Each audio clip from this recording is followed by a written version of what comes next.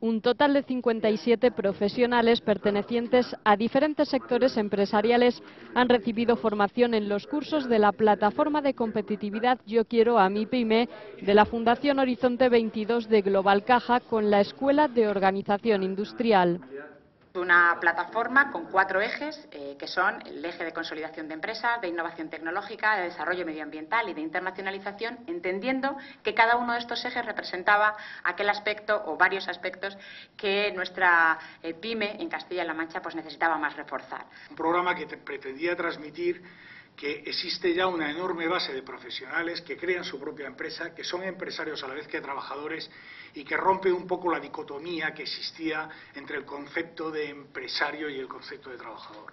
Unos cursos que han servido para situar a los empresarios en el mundo empresarial actual. El mundo hay que hacerlo diferente y hay que hacerlo diferente desde el ámbito empresarial.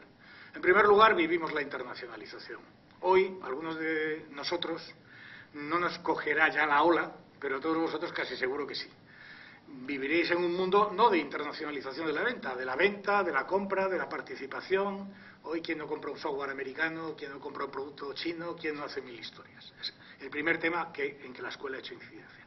El segundo concepto, la sostenibilidad. Tenemos que crear negocios y empresas que perduren, que tengan una capacidad de función y de gestión muy empresarial, muy técnicas, con un concepto innovador de producto. En su clausura celebrada este mediodía en el Ayuntamiento de Albacete, la alcaldesa ha querido recordar el compromiso de su equipo de gobierno con las pymes. Tenemos muy claro que sois los emprendedores, que sois las empresas las que creáis los puestos de trabajo estable para esta ciudad, que como sabéis contamos con más de 18.000 parados.